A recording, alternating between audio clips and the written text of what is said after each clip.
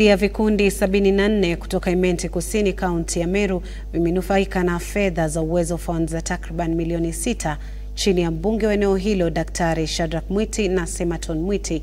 Vikundi hivi aidha vilipokea mafunzo muhimu ya uwekezaji ili kujiendeleza kimaisha.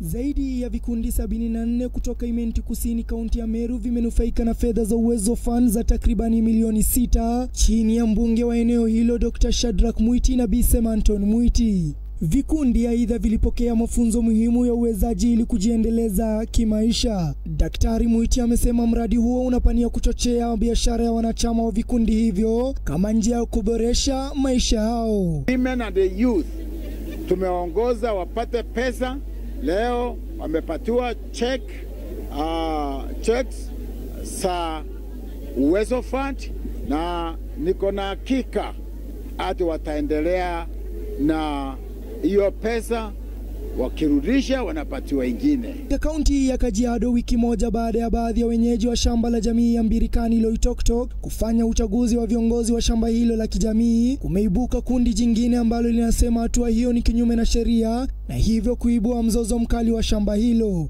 Gavana wa Kajiado Joseph Ole Lenku amelazimika kuingilia kati mzozo huo na kuwarai wanachama kuwa na subra wakati tofauti hizo zikishughulikiwa. Kwingineko, baadhi ya wakazi wa Isiolo wameiomba serikali kuzingatia kuwaweka wagonjwa wote wa saratani chini ya matibabu ya bure kupitia mpango mpya wa bima wa afya ya jamii SHIF na kuanzisha vituo vya saratani katika ngazi ya kaunti ili kupunguza mateso wanayopitia wagonjwa na familia zao. Akizungumza nyumbani kwake Florence Mwendwa, mgonjwa wa saratani ambaye anapambana